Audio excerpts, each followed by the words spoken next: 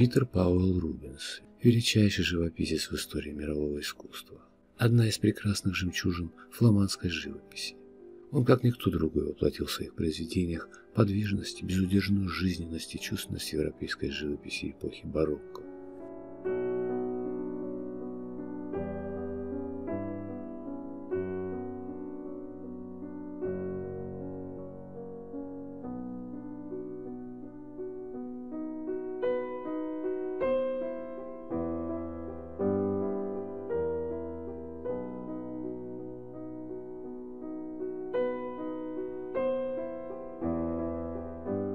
Картина «Кающаяся Мария Магдалина с сестрой Марфой» представляет один из кульминационных эпизодов жития Святой Марии.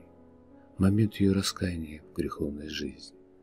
Образ прекрасной Марии Магдалины, распутницы, отрекшейся от блудной жизни и суетности, света и достигшей вершин святости, получил необыкновенное распространение в западноевропейском изобразительном искусстве. Она изображена на полотне с поднятым к небу лицом в момент острейших душевных мук. Слезы обидно текут из заведенных вверх глаз. Духовные переживания Марии также выражены в физических страданиях, переданных через болезненное положение ее тела. Запрокинутая назад голова, напряженные плечи, судорожно стиснутые руки. Облаченная в одежды из дорогих тканей, стремительным движением ноги, она отталкивает ларец с украшением. Образ ее благодетельной сестры Марфы выносит содержание полотна тему противопоставления добродетели и порока.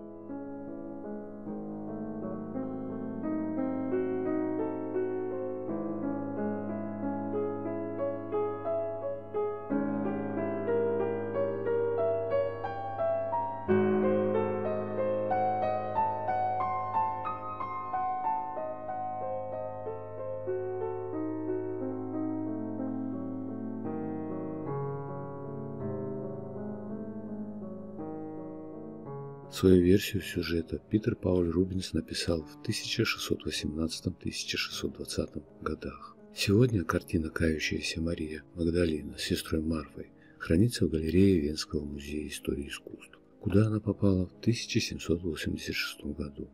Но существует еще одна «Кающаяся Мария Магдалина с сестрой Марфой». Картины отличаются некоторыми деталями. У изображенных женщин по-разному написаны лица и волосы. На венской картине больше драгоценностей в сундучке и больше заднего плана, а красное покрывало выполнено менее детально.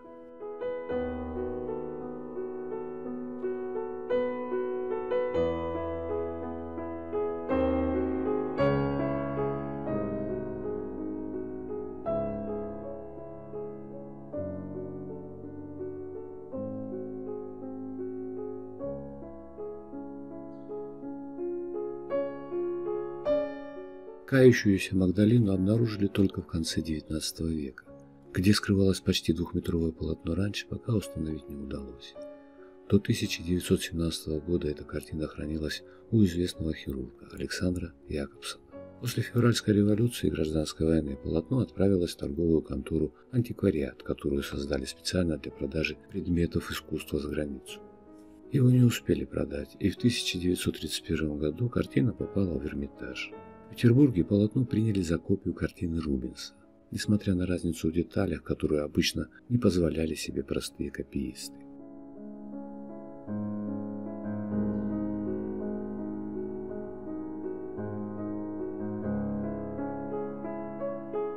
Кающаяся Мария Магдалина отправилась в запасники на 45 лет. В 1976 году картина в числе других подаренных работ оказалась в Ирбитском художественном музее. В 2012 году полотно отправили на реставрацию. Расчистив лицо Магдалины, специалисты увидели, что под несколькими слоями грязного лака скрывается подлинник работы Рубенса. Когда Рубенс писал веки, он накладывал слой красной краски и по нему сверху писал тонким, полупрозрачным телесным бисеровочным слоем. Благодаря такой технике веки выглядели живыми и напряженными. Исследовав краски, холст и грунт, специалисты подтвердили, что картина вышла из мастерской фламандца в XVII веке. Также удалось установить, что над ней работали ученики Рубенса, Антонис Ван Дейк и Якоб Йорданс. Первый написал юбку Магдалины и лицо ее сестры Марфы, второй – скрещенные на животе руки, фигуру и одежду Марфы. предполагают, что Ирбитскую Магдалину Рубинс, Ван Дейк и Йорданс создали за год до Венской.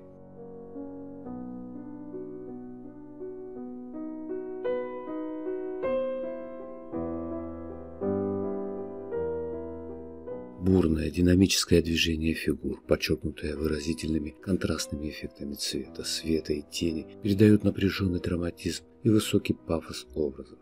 Кисть живописца с почти тактильной точностью передает ощущение живой человеческой плоти и фактуру предметов и материалов.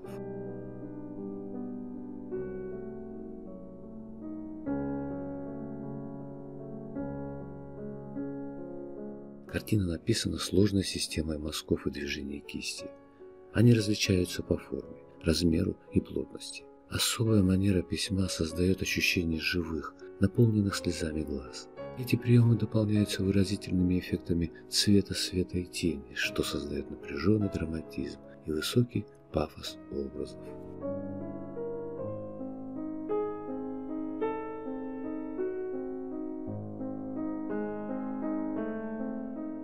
История картины напоминает детектив в Эрмитаже, где она хранилась поначалу. Ее считали лишь копией и несколько десятилетий держали в запасниках. Затем, в 1976 году, работу передали в дар Ирбитскому музею. Его директору Валерию Карпову после осмотра пришла мысль, что это может быть подлинник, но предположение еще нужно было доказать. С этой горячей слезой, текущей по щеке, эти влажные радужки – это красная опись и сами веки розоватые.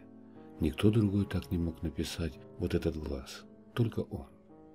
Полагает Валерий Карпов, директор Ирбитского государственного музея изобразительных искусств. Чтобы доказать авторство Рубенса, потребовалось подождать еще 40 лет. Все это время картина находилась в хранилище. Она была в очень плохом состоянии, но реставрировать огромное двухметровое полотно желающих не находилось. Лишь в 2012 году реставратор Антонина Насеткина из Нижнего Тагила приступила к работе. За 4 месяца она сняла с полотна 4 слоя лака. Постепенно вся площадь лакового покрытия была осторожно утончена и выровнена, и открылась подлинная, тонкая, красивая по колориту авторская живопись. Микрофрагменты грунта, пигменты красок и ниточки холста отправили в Московский государственный научно-исследовательский институт реставрации.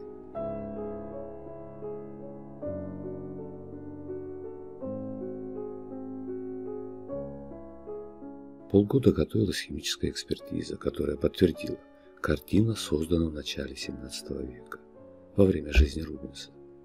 Известно, какими пигментами Рубенс пользовался, где он их покупал. Он был человеком очень хозяйственным. В архивах сохранились документы, где поставщик писал ему, насколько флоринов вам класть к лазури. Лазурь была самой дорогой краской. Искусствоведы Эрмитажа изучили технику живописи. Сейчас на руках ирбитских музейщиков заключение. Магдалина принадлежит кисти Рубенса и двух его учеников. Как считают эксперты, это ранний авторский вариант картины художника «Кающаяся Мария Магдалина и сестра Марфа». Более поздний хранится в художественном историческом музее в Вене.